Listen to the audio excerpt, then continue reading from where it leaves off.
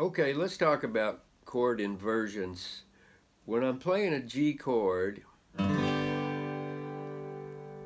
it's just called a G because a G is the bass note of the chord and because the three notes in it, the first, third, and fifth notes of the G major scale, are what make up a major triad. So when you're playing a G chord on guitar, you're playing a triad, but you're playing more than the triad. Well, here's a triad, or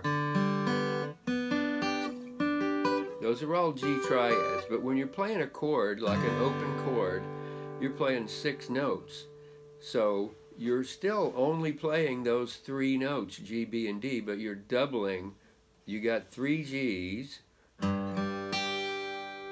you've got two B's, and you've got a D.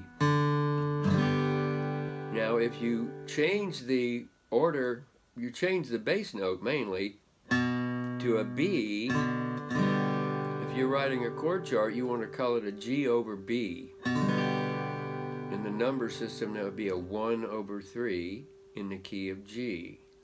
Okay, if you play a C chord, you assume that the C is the bass note. If C is not the bass note, like if you're playing a C G bass note, that's called the second inversion of the chord, and the fifth note of the scale is the bass note. So that would be a 1 over 5 chord if you're writing it in numbers, in the key of C, of course.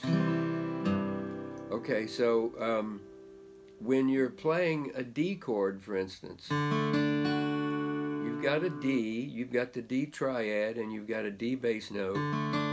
The first inversion would be putting the F sharp, the third, in the bass. If you play a D,